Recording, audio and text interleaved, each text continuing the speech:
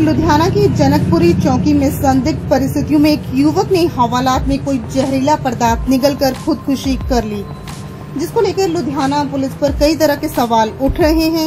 ACP Varun Singh के मुताबिक कल दो युवकों, करण व अन्य को चोरी के केस में हिरासत में लेकर मामला दर्ज कर जाँच की जा रही थी, पर चौकी की हवालात में कर्ण की एकदम तबीयत खराब हो गई। उसके मुँह से खून आने लगा, जिसके बाद उसे अस्पताल लाया गया। जहाँ उसकी मौत हो गई। अब पोस्टमार्टम के बाद ही पता चलेगा कि कौन सा पदार्थ निकला है। पुलिस का ये भी कहना है कि मामले में चौकी में तैनात पुलिस मुलाजिमों पर भी कार्रवाई की जाएगी। उधर मृतक के पारिवारिक सदस्य भी पुलिस की कार्रवाई को लेकर रोष में हैं।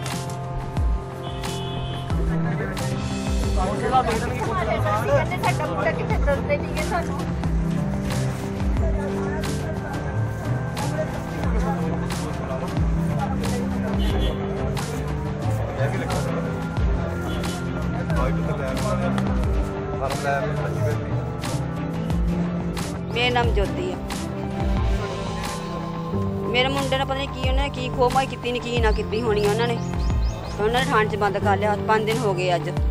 ਨਾ ਉਹਨੂੰ ਪਾਣੀ ਦਾ ਕੋਟ ਦਿੱਤਾ ਮੁੰਡੇ ਨੂੰ ਪੀਣ ਵਾਸਤੇ, ਨਾ ਰੋਟੀ ਪਾਣੀ ਦੇ ਖਾਣ ਵਾਸਤੇ ਉਹਨਾਂ ਨੂੰ। ਹੁਣ ਮੁੰਡਾ ਮਾਰਤਾ ਤੇ ਲਿਖ ਲੈ ਕੇ ਆਏ ਨੇ ਹੋਈ ਅਜੇ ਤਾਂ ਚਮਚਾ ਜੰਗੂ ਥਾਣਾ ਪਿੱਛੇ ਜਿਹੜਾ ਅੰਦਰ ਚੌਂਕੀ ਜਿਹੜੀ ਦੋ ਨੰਬਰ ਚੌਂਕੀ ਜਿਹੜੀ ਆਂਦੀ।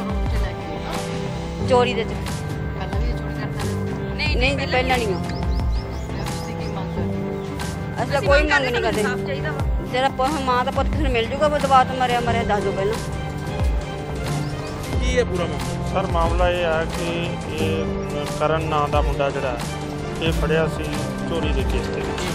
ਇਹਨਾਂ ਕੋਲੋਂ ਮੋਟਰਸਾਈਕਲ ਬਰਾਮਦ ਹੋਇਆ ਸੀ। ਤਾਂ ਗ੍ਰਿਫਤਾਰੀ ਪਾਈ ਹੋਈ ਸੀ ਇਹਦੀ ਰਾਤ ਸਵੇਰੇ ਜਦੋਂ ਸੰਤਰੀ ਨੇ ਦੇਖਿਆ ਤਾਂ ਇਹ ਹਵਾਲਾਤ 'ਚ ਜਿਹੜਾ ਲਪੇਟਿਆ ਹੋਇਆ ਸੀ ਤੇ ਥੋੜਾ ਜਿਹਾ ਉਹ 'ਚੋਂ ਬਲੱਡ ਨਿਕਲ ਰਿਹਾ ਸੀ। ਤਾਂ ਇਹਨੂੰ ਚੌਕੀ ਇੰਚਾਰਜ ਇੱਥੇ ਲੈ ਕੇ ਆਏ ਹਸਪੀਟਲ ਤਾਂ ਹਸਪੀਟਲ ਜਦੋਂ ਡਾਕਟਰਾਂ ਨੇ ਚੈੱਕ ਕੀਤਾ ਤਾਂ ਇਹ ਮਤਲਬ ਇਹਦੀ ਡੈਥ ਹੋ ਚੁੱਕੀ ਨਾਮ ਕੀ ਸੀ ਇਹਦਾ? ਕਰਨ। ਅੱਛਾ ਤੁਸੀਂ ਕੋਈ ਸਰ ਪੁਲਿਸ ਨੇ ਕੋਈ ਮਾਮਲਾ ਦਰਜ ਨਹੀਂ ਕੀਤਾ ਹਿਰਾਸਤ ਤੇ ਲਿਆ ਸੀ 5 ਦਿਨਾਂ ਤੋਂ? ਨਹੀਂ ਨਹੀਂ। ਪੁਲਿਸ ਨੇ ਮਾਮਲਾ ਦਰਜ ਕਰਕੇ ਹੀ ਹਿਰਾਸਤ ਵਿੱਚ ਲਿਆ ਸੀ। ਓਕੇ। ਐਦਾਂ ਦੀ ਕੋਈ ਗੱਲ ਨਹੀਂ ਹੈ। ਤਾਂ ਜਿਹੜਾ ਹੈਗਾ ਇਹਦੀ ਜਿਹੜੀ ਹੁਣ ਵੀ ਅਗਲੀ ਕਾਨੂੰਨੀ ਕਾਰਵਾਈ ਹੈ ਉਹ ਅਸੀਂ ਪੇਰੈਂਟਸ ਦੇ ਬਿਆਨ ਲਿਖ ਕੇ ਸੁਸਾਈਡ ਕੀਤਾ ਇਹਨੇ ਕੋਈ ਚੀਜ਼ ਖਾਧੀ ਹੈ? ਤਾਂ ਇਹ ਤਾਂ ਪੋਸਟਮਾਰਟਮ ਦੀ ਰਿਪੋਰਟ ਤੋਂ ਹੀ ਪਤਾ ਲੱਗੂਗਾ ਕਿਉਂਕਿ ਕੋਈ ਬਾਹਰੀ ਨਜ਼ਰ ਨਹੀਂ ਆ ਰਿਹਾ ਵੀ ਕੀ ਹੈ। ਹੂੰ। ਤੇ ਪੋਸਟਮਾਰਟਮ ਹੁਣ ਬੋਰਡ ਤੋਂ ਕਰਾਵਾਂਗੇ ਪੋਸਟਮਾਰਟਮ ਦੀ ਰਿਪੋਰਟ ਤੇ ਕੋਈ ਸ਼ੱਕੀ ਚੀਜ਼ ਖਾਧੀ ਹੈ ਜਾਂ ਕੁਝ ਕੁਝ ਨਹੀਂ ਕਹਿ ਸਕਦਾ ਮੈਂ। ਪੋਸਟਮਾਰਟਮ ਦੀ ਰਿਪੋਰਟ ਹੈ ਕਿ ਜੇ ਕੋਈ ਇੰਜਰੀ ਹੁੰਦੀ ਤਾਂ ਅਸੀਂ ਸੋਚਦੇ ਕਿ ਪੁਲਿਸ ਦਾ ਕੋਈ ਪੱਖ ਹੈਗਾ। ਲੇਕਿਨ ਫਿਰ ਵੀ ਪੋਸਟਮਾਰਟਮ ਦੀ ਰਿਪੋਰਟ ਆਏਗੀ ਤਾਂ ਉਸ ਤੋਂ ਮਗਰੋਂ ਜੋ ਵੀ ਬਣਦਾ ਹੋਇਆ। ਪੁਲਿਸ ਮੁਲਾਜ਼ਮਾਂ ਤੇ ਕਾਰਵਾਈ ਹੋਈ ਜੇ ਜੇ ਪੋਸਟਮਾਰਟਮ ਦੇ ਵਿੱਚ ਇਹਦੀ ਨੈਚੁਰਲ ਡੈਥ ਆਉਂਦੀ ਹੈ ਫਿਰ ਨਹੀਂ ਹੋਏਗੀ। ਜੇ ਕੋਈ ਰੀਜ਼ਨ ਆਏਗਾ ਤਾਂ ਉਹਦੇ ਮੁਤਾਬਕ। ਦੋਹਾਂ ਦਾ ਨਾਂ ਕੀ ਸੀ ਜਿਹੜੇ ਚੋਰੀ ਦੇ ਕੇਸ 'ਚ ਫੜੇ ਸੀ? ਇੱਕ ਕਰਨ ਸੀ ਔਰ ਦੂਸਰੇ ਦਾ ਨਾਮ ਸੀ ਗੌਤਮ, ਗੌਤਮ। ਇੱਕੋ ਹੀ ਹਵਾਲਾਤ 'ਚ ਬੰਦ ਸੀ ਦੋਨੋਂ ਇੱਕੋ ਉਹਨੇ ਉਹ- ਉਹਦੇ ਉਹ ਕਹਿੰਦਾ ਵੀ ਨਹੀਂ ਉਹ ਕਹਿੰਦਾ ਅਸੀਂ 1:30 ਵਜੇ ਤੱਕ ਗੱਲਾਂ ਕਰਦੇ ਰਹੇ। ਉਸ ਤੋਂ ਮਗਰੋਂ ਮੈਂ ਸੌਂ ਗਿਆ। ਤਾਂ ਉਹਨੂੰ ਵੀ ਸਵੇਰੇ ਜਦੋਂ ਸੰਤਰੀ ਨੇ ਉਠਾਇਆ ਉਦੋਂ ਪਤਾ ਲੱਗਿਆ। ਕਿਹੜੀ ਤਰੀਕ ਫੜੇ ਸੀ? ਕੱਲ ਫੜੇ ਸੀ।